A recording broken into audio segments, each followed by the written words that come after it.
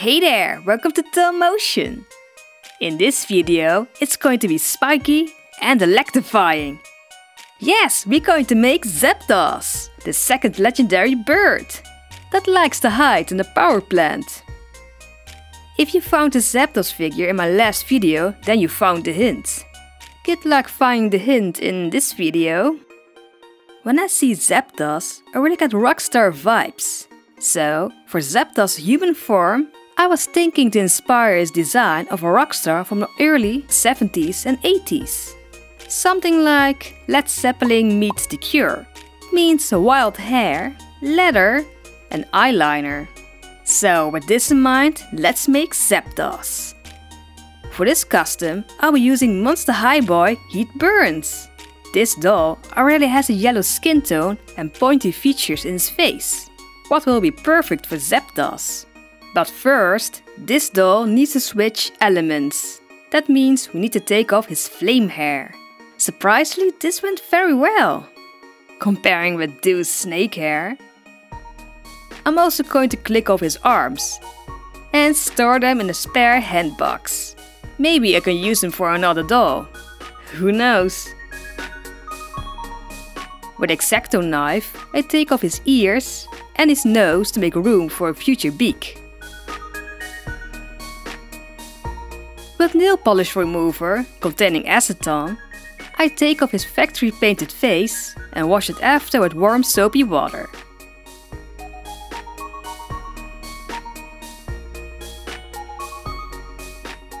Just like Articuno, I want Zapdos to have bird-like legs and talons. To make these, I first have to saw off parts of the legs with a jeweler saw. And to complete the prep, I also make a hole in the lower back with a lino cutter for his future tail. With some pre-made wire, I'm going to give him a beak, new legs, wings and a tail. I glue the wires to the doll with a two-part epoxy glue. And now he looks more like a hummingbird. To fill in the wires, I use a two-part epoxy clay. Wearing gloves, I mix part A and B together until I got a solid color. Now I can form new legs, sharp talons,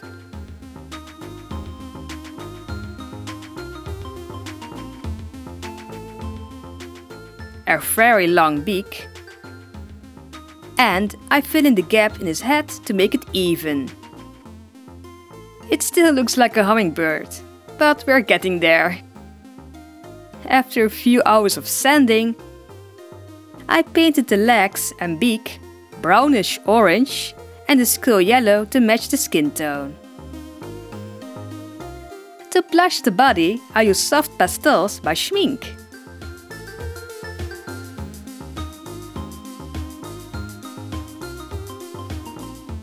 To seal it in, I spray the doll a few times with Mr. Super Clear. Let's jump right in into the face-up. I start by sketching in his face with a light-colored pencil. Zapdos has very sharp eyes. Kinda like my Cloud repaint I did a few months ago. Speaking of that doll, I reached my first goal on Patreon. And as a giveaway, Cloud is going to a new owner on Patreon. So I'm glad Zapdos kinda looks like him. To match Zapdos colors, I'm going to give him bright blue eyes. that pointy beak in the camera looks very funny. and now for my favorite part of the face up, shading. I like to use PanPastel powders and a tiny brush. I simply shade the eyes above the pupil. This really brings out the eye colors. And to match this rockstar persona and Zapdos' original design, he's getting eyeliner. And now for the question of the day. How did you get into video editing doll videos? Well, into video editing itself, it was through animation school where I had editing lessons, and doll videos tutorials were also through animation school. In our last year, we got an assignment to make a workshop for students in lower years. I was very interested in YouTube, so I decided to make a stop motion puppet making series on YouTube. It got kinda popular, but because it was mixed with other videos, I decided to start over, with this time fashion doll repaints only. And that became doll motion, as in doll and stop motion. Do you have a question for me? Leave it in the comment section and maybe I will answer it in the next repaint video. Back to the repaint. Every rockstar needs some tattoos. So for Zapdos, lightning bolts that come from his neck. I first sketched them with a pencil and filled them in with ink. After that I seal the face and the tattoos with Mr. Superclear. To give the wings and tail some body, I sew a white stretchy fabric around the wires.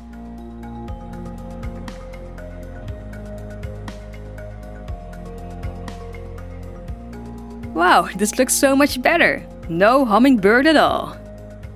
For his hair, I'll be using acrylic yellow yarn. I like to wrap the yarn around his binder and cut it loose to get perfect yarn size to comb. I bind them to a giant cut of fly swatter and start combing out the yarn. I make the yarn all shiny and flat with a hair straightener. After that, I cut the yarn and glue them to a freezer bag. To make the yarn wefts easy to handle.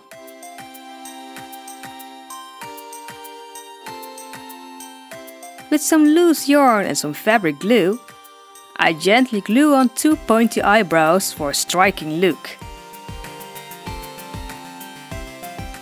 And now I go around his head with a hot glue gun to glue on the yarn wefts.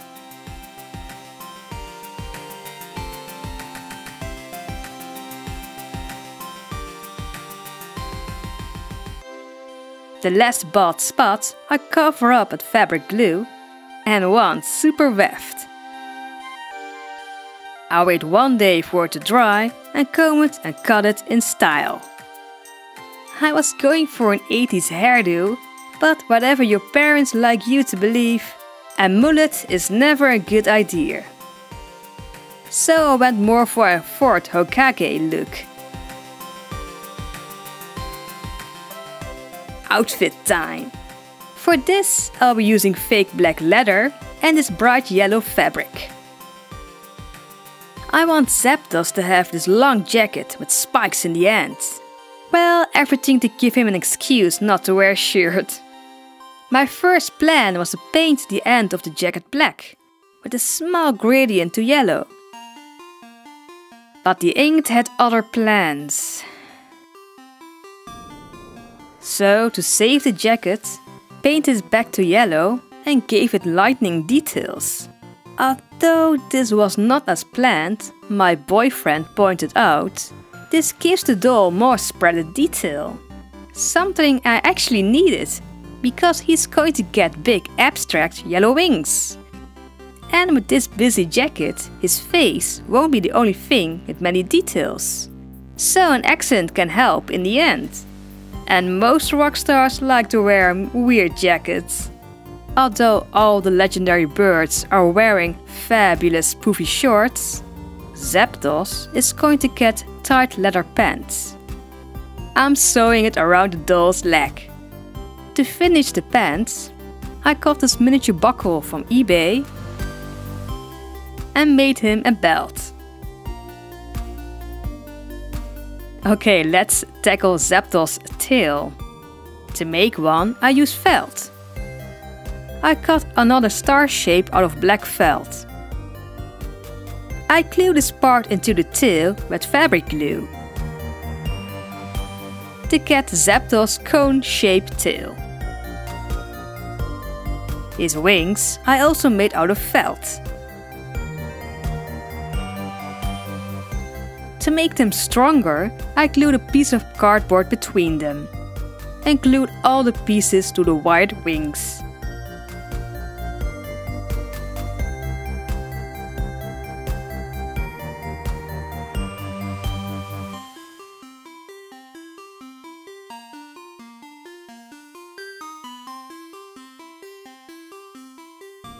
For some last detail, I cut off a Monster High lightning bolt earring. I think it was Frankie's. And I glued it to a necklace.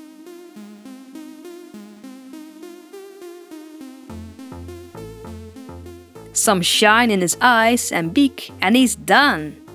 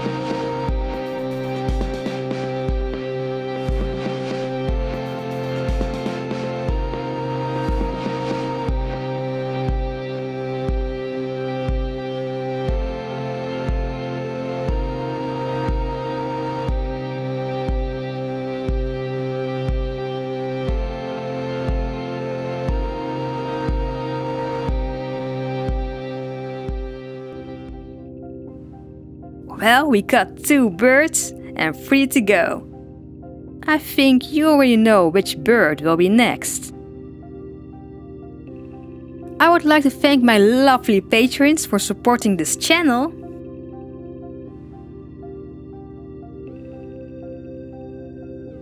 And like always, like if you liked it and sub if you loved it. See you in next video.